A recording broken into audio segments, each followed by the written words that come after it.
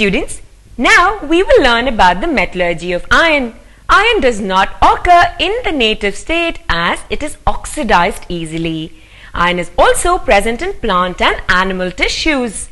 And iron in elemental state occurs in meteorites. The most important ores of the iron are the oxides, carbonates and sulfides. They are magnetite, hematite, limonite, siderite and iron pyrites.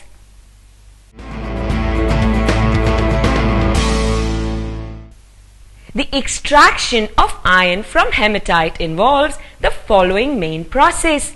1. Concentration of the ore. 2. Calcination. And 3. Smelting. Let us now study each of these in detail.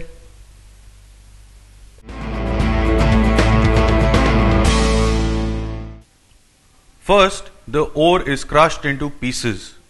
Then it is washed with water to remove clay, sand, etc.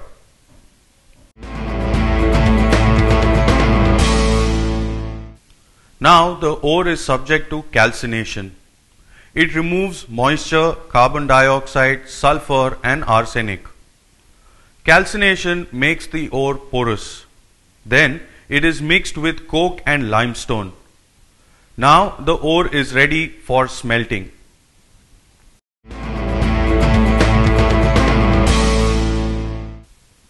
The process of smelting takes place in a blast furnace. The blast furnace is a steel surface lined with fire bricks. It is about 100 feet in height and about 25 feet in diameter. It is slightly narrow at the top and the bottom.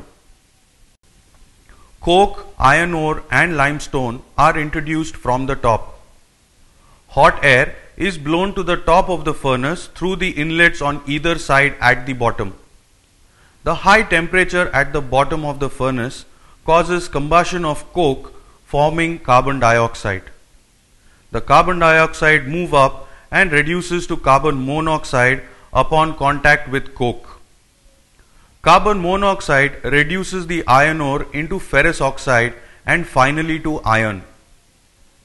The formed iron is solid in state which converts to liquid and settles at the bottom. The limestone decomposes to lime and carbon dioxide. The limestone combines with silica to form calcium silicate. Calcium silicate settles on the top of the molten iron. Slag is withdrawn from the outlet and molten iron is collected at the bottom. This iron is called pig iron. Wrought iron is comparatively pure form of iron.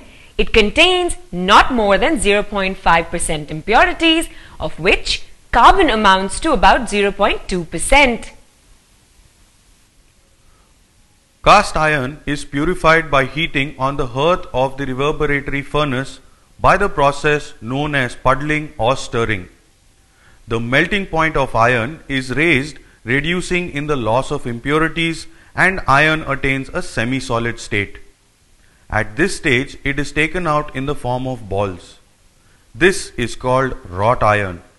It is used for making chains, bolts, etc.